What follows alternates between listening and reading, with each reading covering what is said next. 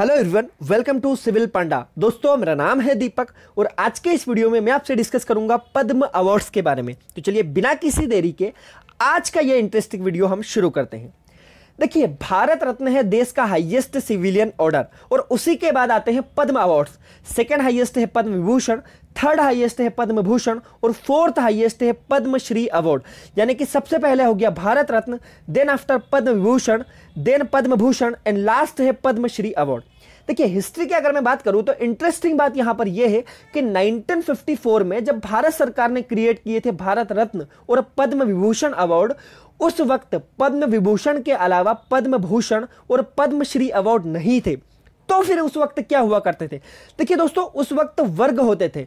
पहला वर्ग, दूसरा वर्ग तीसरा वर्ग। और इसको चेंज किया गया 1955 में। जी हाँ 8 जनवरी 1955 के बाद में हमारे सामने आए प्रॉपर पद्म अवार्ड जिनको हम पद्म विभूषण पद्म भूषण और पद्मश्री के नाम से जानते हैं। है ना? देखिए अब अगर मैं बात करूँ डिटेल्स की तो ये अवार्ड क्यों दिए जाते हैं और आ, कौन देता है है ना? डिसाइड कौन करता है? तो चलिए मैं आपको बता देता हूँ कि ये अवार्ड दिए जाते हैं on the recommendation of a committee और उस कमेटी को बनाते हैं हमारे देश के प्राइम मिनिस्टर अब देखिए जानते हैं कि ये जो अवार्ड है, ये क्यों दिए जाते हैं, किस फ़ील्ड में दिए जाते हैं कौन कौन सी ऐसी कैटेगरीज है तो वेरियस फ़ील्ड है, आपको पता होगा, अगर आपने स्पोर्ट्स में कुछ अच्छी उपलब्धि हासिल की है, या आपने साइंस या टेक्नोलॉजी में कुछ बड़ा किया है, आपने trade industry tourism medicine literature art civil services sports या और भी अदर वेरियस फ़ील्ड में अगर कोई सी अच्छी उपलब्धि हासिल की है तो मिल सकता है आपको ये अवार्ड देखिए, लेकिन यहाँ पर एक एक्सेप्शन भी है। एक्सेप्शन क्या है? देखिए, कल को अगर आप बनते हैं आईएएस या फिर मैं कहूँ कि सिविल सर्वेंट आप एक बनते हैं, है ना, एक officer under government of India तो जब तक आप सर्विस में रहोगे, तब तक आपको यह अवार्ड नहीं मिल सकता। अगर आप सिविल सर्विसेज़ में रहते हुए, सिविल सर्वेंट रहते हुए कोई सा अच्छा काम करते हो समाज के लिए, देश के लिए, गवर्नमेंट को यह लगता है कि आपने अच्छा काम किया है, आपको पद्म अवार्ड से जो है कि नवाजा जाना चाहिए तो आपको ड्यूरिंग सर्विस ये अवार्ड नहीं मिल सकता है। लेकिन हाँ जब आप रिटायर हो जाओगे तो उसके बाद में ये अवार्ड आपको मिल सकता है। अच्छा इसमें भी एक एक्सेप्शन है। एक्सेप्शन क्या है? अगर मान लो कोई साइंटिस्ट है या फिर कोई डॉक्टर है और उन्होंने उनकी सर्विस में रहते हुए कोई सी अच्छी उपलब्धि हासिल की है तो उनको ड्यूरिंग सर्विस भी मिल सकता है ये अवार्ड लेकिन सिविल सर्वेंट को ड्यूरिंग सर्विस ये अवार्ड नहीं मिल सकता है। तो आपको ध्यान ये रखना है कि साइंटिस्ट और डॉक्टर को ये अवार्ड जो है कि सर्विस के दौरान भी मिल सकता है, लेकिन बाकियों को ये मिलता है रिटायरमेंट के बाद में। चलिए नाउ अब हम देखते हैं कि इस साल प्रेसिडेंट ऑफ़ इंडिया ने टोटल 119 119 पद्म अवार्ड दिए हैं जिनमें से सात है पद्म विभूषण दस है पद्म भूषण और 102 है पद्मश्री अवार्ड तो एक एक करके हम समझते हैं कि किन किन लोगों को यह अवार्ड क्यों दिए गए हैं। देखिए सबसे पहले हम बात करते हैं पद्म विभूषण के बारे में है ना? Second highest civilian order of India सबसे पहले यह मिला है श्री सिंजो आबे। देखिए है ना? श्री जो कि भारत में एक आ, मतलब रेस्पेक्ट के तौर पर हम यूज़ करते हैं तो श्री सिंजो आबे, आप जानते ही होंगे ex prime minister of Japan है ना? वर्तमान में तो prime minister Suga is the current prime minister of Japan है। तो श्री सिंजो आबे को ये मिला है इनका कंट्रीब्यूशन में क्या बात करूँ? बहुत ही शानदार कंट्रीब्यूशन रहा है इनका इंडो पैसिफिक का जो कॉन्सेप्ट है, इसको आगे बढ़ाने में। है ना? इनका कंट्रीब्यूशन है क्वाड को बनाने में। ठीक है? तो अच्छा आपको पता होगा लास्ट ईयर 2020 में इनको प्राइम मिनिस्टर मोदी के साथ लीजन ऑफ़ मेरिट अवार्ड भी मिला था। तो इनका अच्छा खासा कॉन्ट्रीब्यूशन है, इसीलिए इनको डेफिनेटली ये डिजर्व भी करते हैं इस अवार्ड को। इसीलिए इनको ये अवार्ड दिया गया है। आपको पता होना चाहिए कि जो इंडो पैसिफिक का कॉन्सेप्ट है, उसको प्रमोट करने में इनकी बहुत बड़ी भूमिका रही है। तो इसीलिए इनको ये अवार्ड मिला है। है ना? इनका फ़ोटो ये आप देख सकते हैं यहाँ पर। है ना? ये जो सबसे फ़र्स्ट फ़ोटो है, ये इन्हीं का है।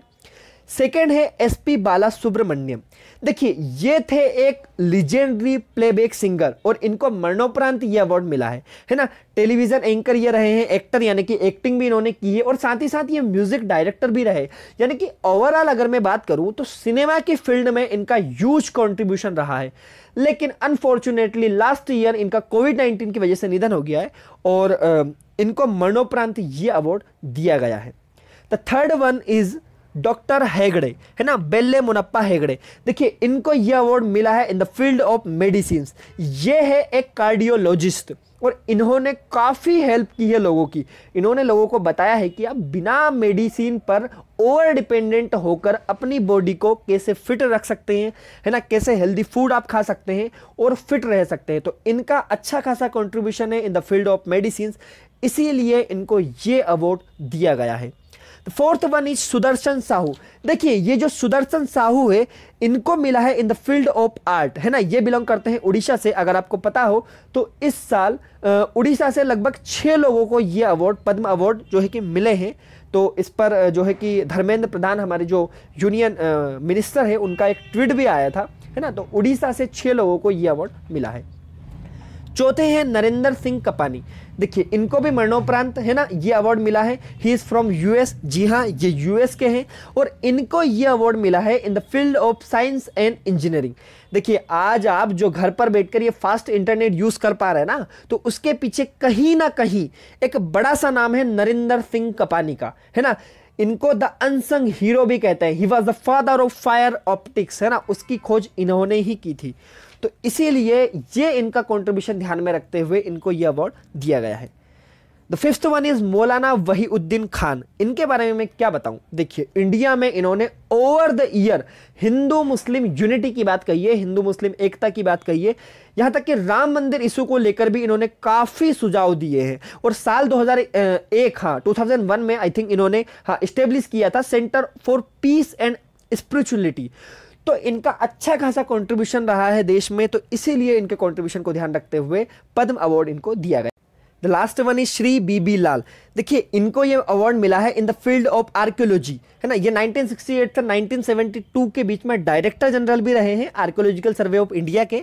और उसके बाद में इन्होंने वेरियस यूनेस्को की कमिटीज़ में भी काम किया है ना? तो इनको इसलिए ये अवार्ड मिला है. इवन जब बाबरी मस्जिद कोलेप्स हुई थी उसके बाद में जब आर्कियोलॉजिकल सर्वे ऑफ़ इंडिया ने वहाँ पर आ, जो है कि सर्वे किया था तो वहाँ पर इनको कुछ एविडेंसेस मिले थे तब इन्होंने कहा था कि मुझे वहाँ पर टेंपल होने के भी एविडेंसेस मिले हैं। तो आपको यह ध्यान रखना है कि इन सात लोगों को पद्म विभूषण अवार्ड 2021 में मिला है। अब हम जानते हैं कि पद्म भूषण अवार्ड किन किन लोगों को मिला है। देखिए, यहाँ पर 10 लोगों को 2021 में पद्म भूषण अवार्ड दिया गया है। मैं कुछ बड़े नाम हैं जिनको डिस्कस कर लेता हूँ, जैसे कि श्री तरुण गोगोई। इनको मरणोपरांत ये अवार्ड मिला है है ना? असम स्टेट के ये अगर आपको पता हो, अगर आप थोड़ा सा राजनीति में इंटरेस्ट रखते हैं तो एक बहुत बड़ा नाम है ये।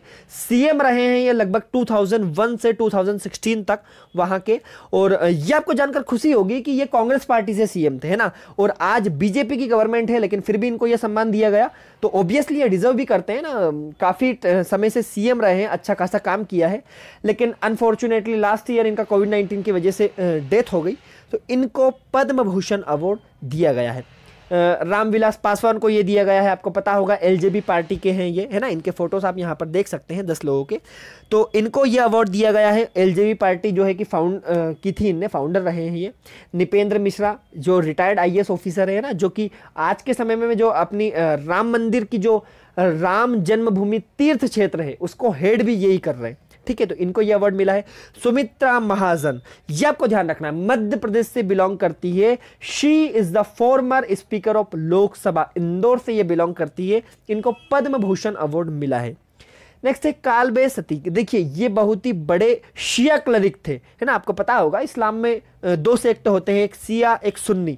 तो ये बहुत ही बड़े सिया क्लरिक थे, या इन्होंने हिंदू मुस्लिम यूनिटी के बारे में बात की है, इन्होंने कम्युनल हारमोनी के बारे में बात की है तो इनके इसी कंट्रीब्यूशन को ध्यान में रखते हुए इनको ये अवार्ड मिला है। नेक्स्ट है यहाँ पर रजनीकांत देवीदास श्रॉफ। तो इनको भी पद्म ये जो अवार्ड है, ये मिला है in the field of trade and industries है ना? तो ये सारे दस लोग हैं, आप देख सकते हैं तो इनको पद्म भूषण अवार्ड मिला है। अब देखिए, पद्मश्री जो अवार्ड है, ये बहुत सारे लोगों को मिला है। इवन 102 102 लोगों को ये मिला है। लेकिन कुछ इंपॉर्टेंट नाम जो आपको याद होना चाहिए तो मैं आपसे डिस्कस कर लेता हूँ कि कौन कौन से ऐसे नाम हैं जो आपको पता होना चाहिए। सबसे पहला नाम है भूरी बाई। आपको पता होगा she is an Indian Bhil artist and belong to Madhya Pradesh, Jhabua district की ये रहने वाली है पिटोल गाँव की। और ये जान जानी जाती है पिथौरा पेंटिंग के लिए, है ना? तो इनको हाल ही में पद्मश्री से नवाजा गया है। मध्य प्रदेश पीएससी में एमपी से रिलेटेड बहुत सारे क्वेश्चन बनते हैं तो आपको पता होना चाहिए कि भूरी बारी जो कि एक भील आर्टिस्ट है है ना? आदिवासी महिला है ये। तो भील कम्युनिटी से आती है तो इनको अवार्ड मिला है पद्मश्री अवार्ड चलिए, उसके अलावा कुछ ऐसे नाम जो कि आपने सोशल मीडिया के माध्यम से सुने होंगे, यानी कि आपने टीवी पर भी देखे होंगे। अभी रिसेंटली में जब सोमवार को ये अवार्ड दिए जा रहे थे, तब आपने देखा होगा कि राष्ट्रपति भवन के रेड कारपेट पर नंगे पाँव चलते हुए ये लोग अवार्ड लेने के लिए गए थे। तो यहाँ पर देखिए, तुलसी गौड़ा है ना? हरकेला, हजब्बा और राहीबाई सोवा। ये तीन ऐसे नाम हैं, यानी कि इन्होंने साबित कर दिया कि भैया, सफलता जो है कि किसी भी परिस्थिति की मोहताज नहीं होती है। ठीक है ना? यानी कि आपको सुविधाएँ नहीं चाहिए। आपको सिर्फ़ करना है तो करना है। व्हील पावर होनी चाहिए कुछ करने के लिए। तुलसी गोड़ा, आप जानते होंगे she is an environmentalist from Karnataka who has planted more than thirty thousand sapling तीस हज़ार से भी ज़्यादा इन्होंने पौधे लगाए हैं और she has been involve in environmental conservation activities from last six year यानी कि सिक्स ईयर सिक्सटी डिकेट्स यानी कि लगभग साठ साल से। सोचिए इनकी उम्र है बहत्तर साल। कपड़े के नाम पर इन्होंने सिर्फ़ एक कंबल जैसा कुछ लपेटा हुआ है, पैर में चप्पलें भी नहीं है। लेकिन फिर भी इनको पद्मश्री अवार्ड मिला है। नेक्स्ट वन इज़ हर केला हजब्बा। आपने देखा होगा है ना? अच्छा इसी को हम लास्ट माइल कनेक्टिविटी कह सकती है, कह सकते हैं ना? संतरे बेचकर पाई पाई जोड़ी, डेढ़ सौ रुपए मजदूरी मिलती थी मात्र। लेकिन अभाव अभाव के कारण ये सीखे, इन्होंने देखा, गरीब बच्चों को पढ़ने के लिए स्कूल नहीं है। मंगलुरु में, कर्नाटक के मंगलुरु में मात्र डेढ़ सौ रुपए की दिहाड़ी करते वक्त इन्होंने ये नहीं सोचा कि मैं इतना बड़ा स्कूल कैसे बनाऊँगा। लेकिन इन्होंने स्कूल बनाया और आज वहाँ पर बहुत सारे गरीब बच्चे शिक्षा ले रहे हैं। थर्ड वन इज़ राही भाई सोमा पोपरे. सोचिए, एक महिला भी इतनी अच्छी किसान हो सकती है, ये इन्होंने साबित कर दिया। महाराष्ट्र की आदिवासी महिला है ये, इनको सीड मदर भी कहा जाता है। है ना? जो जैविक खेती है, उसको नई ऊंचाई पर ले जाने का काम इन्होंने किया है। आपने देखा होगा, इस वर्ष एक ट्रांसजेंडर, मंजम्मा जोगाती, जो कि कर्नाटक से बिलोंग करती है, इनको भी आर्ट फ़ील्ड में ये अवार्ड मिला है। आपने वो वीडियो देखा होगा जब ये हमारे राष्ट्रपति की नज़र उतारती हुई दिखाई देती है। तो ये थे सारे अवार्ड। आई होप दोस्तों आपको वीडियो पसंद आया होगा। अगर आपको हमारा ये वीडियो पसंद आया है तो प्लीज़ इस वीडियो को लाइक कीजिए शेयर कीजिए और दोस्तों के साथ इस वीडियो को बांटिए ताकि उन लोगों को भी पता चल सके कि सिविल पांडा ने ऑनलाइन यूट्यूब पर क्लासेस ऑर्गेनाइज किए। साथ ही दोस्तों, अगर आप सिविल पांडा के ऑफलाइन बैचेस से जुड़ना चाहते हैं तो आप नीचे दिए गए इन नंबर पर कॉन्टैक्ट करके जुड़ सकते हैं। हमारी बेचेस इंदौर में स्टार्ट हो गई है ऑफलाइन इंग्लिश मीडियम और हिंदी मीडियम के लिए। Thank you so much